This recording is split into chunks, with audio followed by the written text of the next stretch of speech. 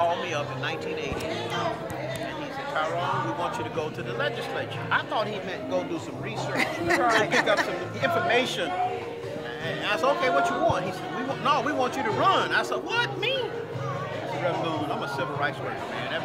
I'm a, you know, militant, radical, hated by the media, hated by white folks all over this country. He said, Tyrone, they've elected your daddy. They'll elect you, Hosea Williams. They call Hosea my daddy. Okay. Hosea was like my godfather in the movement. And then he, he called Dr. Ralph David Abernathy, and Dr. Abernathy called me and said, Joe Boone just called me, Tyrone. We think it's time for you to go to the legislature. I was like 28 years old. And he said, we will elect you just like we elected Hosea. They started the ball to roll and it just kept going and finally here I am running. And we win. And we And how long did you stay? 35 years. Yes, we Jesus, 35 yes. years. But it all started because of Reverend Joe Boone. He started it. And it just kept going and going and going. And, you know, we won. Said? These are the stories that I love. This great history. We're very proud of ourselves.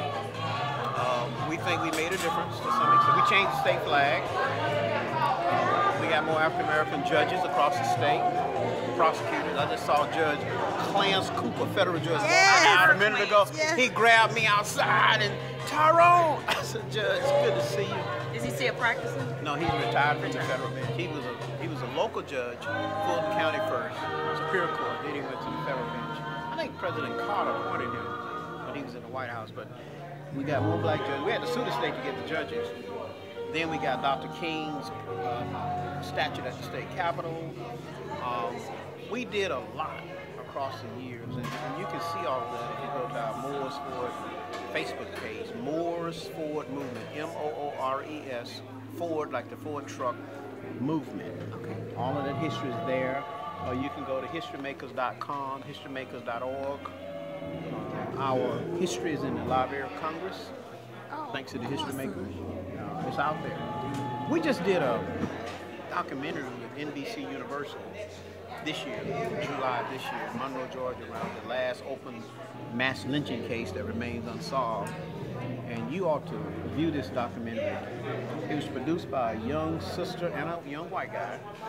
She's I 27. read a little bit, not too long. Yes, a young sister. She's from Charlotte, North Carolina. She's um, 28 years old, and she is in charge of all social media for NBC University. About your height, complexion, from Charlotte, North Carolina.